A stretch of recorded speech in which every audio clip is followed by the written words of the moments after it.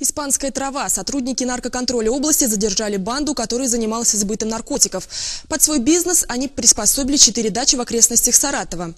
В двух из них были обнаружены действующие наркооранжереи. В подвале одной было 187 горшков с растениями, а в другой 78. Конопля, специально заказанная по интернету в Испании, высаживалась в удобренную землю. В помещениях поддерживался специальный климат с помощью системы вентиляции. В одной из дач хранилось более одного килограмма уже готовой марихуаны. Также группировка занималась продажей амфетамина.